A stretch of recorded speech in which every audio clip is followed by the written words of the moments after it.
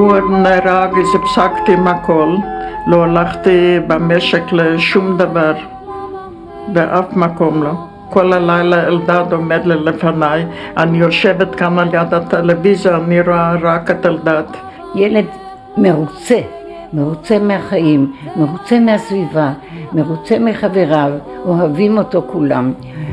וכמובן שאם אדם מרגיש, אדם אפילו ילד קטן, מרגיש, אם אוהבים אותו, אז הוא אוהב, הוא לומד לאהוב, הוא לא אהב הכל.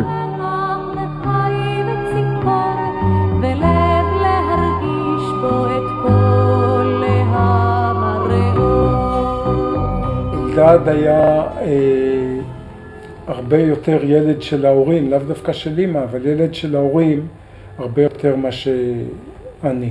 הוא היה נתון לטיולים אפילו לבד, לראות ולפגוש את החבצלת שמלבינה בקיץ, את החצב המתחיל למגדל את מגדלו עם פרחה, ותמיד הראשון שמצא כל פרח חדש. כשהייתי ילדה אני זוכרת שהרבה פעמים היינו יוצאים ביחד לטייל ותמיד ניסינו לתפוס ביחד עם איזה רשת שהיינו בונים פרפרים. כמובן אני אף פעם לא הצלחתי והוא תמיד הצליח. הוא היה ילד ביישן מאוד, מאוד מאוד הוא היה ביישן, לא היה כזה... לא היו לו שום קונפליקטים עם אף אחד. אני זוכרת אפילו פעם אחת שרבו איתו, שמישהו הלך איתו מכות, שהוא הרביץ למישהו. תמיד קינאתי באלדד, למה הכל בא לו בקלות. הוא היה משתלב עם כל אחד, בכל דבר, בצורה מאוד טבעית. ולא היה לו שום מחשבה כאילו להבליט את עצמו ולהתנשא. ורק לו רגליים לרקוד עד אין סוף,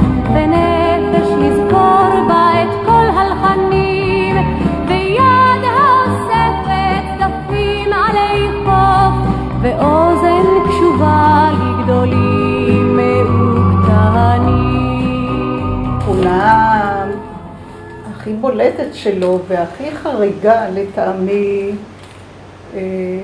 שהוא לא התבייש אף פעם להיות רגיש ועדין.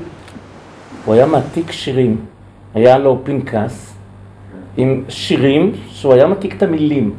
החיים שלנו ביחד היו מלאים כל כך הרבה שמחה, הצגות וריקודים, והוא היה הרקדן הראשי.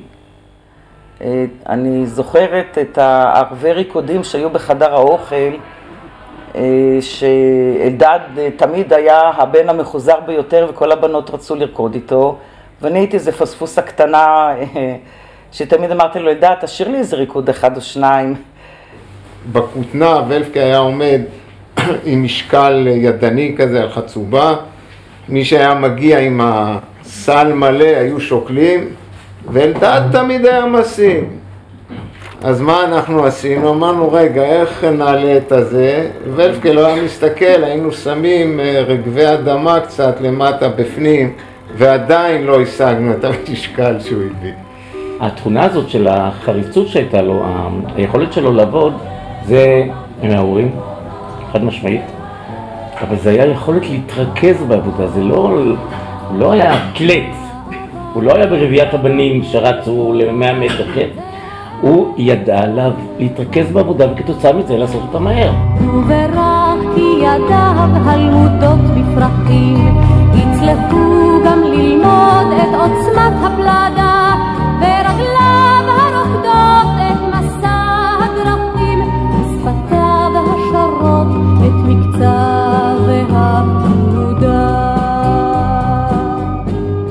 הבחירה בלהיות מפקד בוועד ארבע מאוד התאימה לו וגם לי, כי זה היה קשור לחינוך, זה היה קשור להדרכה, זה היה קשור לאי קרביות בהצהרה. אלדד היה בכלל טיפוס שמה שהכרנו אותו בכלל לא, הוא וצבא זה משהו אחר לגמרי. פתאום מתברר שבצבא הוא היה תמיד חניך מצטיין בכל דבר שהוא עשה.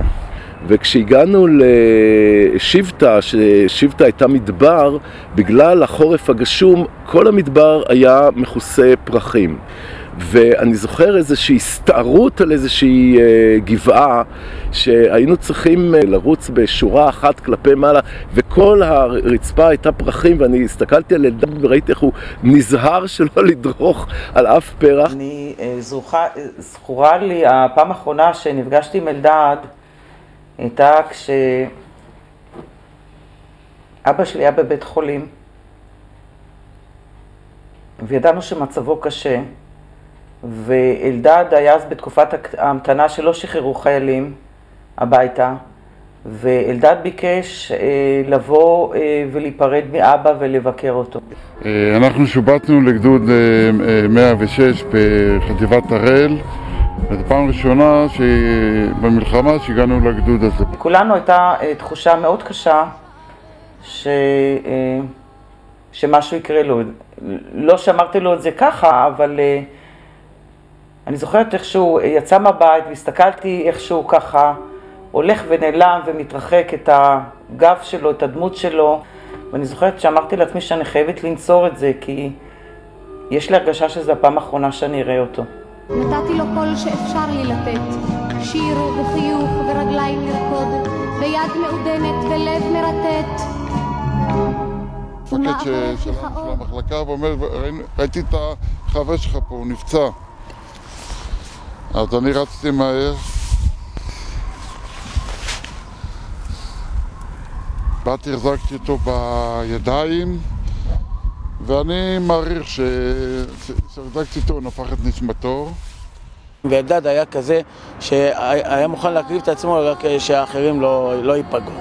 ובעיניי הוא סמל של אה, טבע, סמל של אה, לוחם ללא חטא. ולכן אה, כל כך אהבתי אותו, שהנכד הראשון שנולד לי, קראנו על שמו.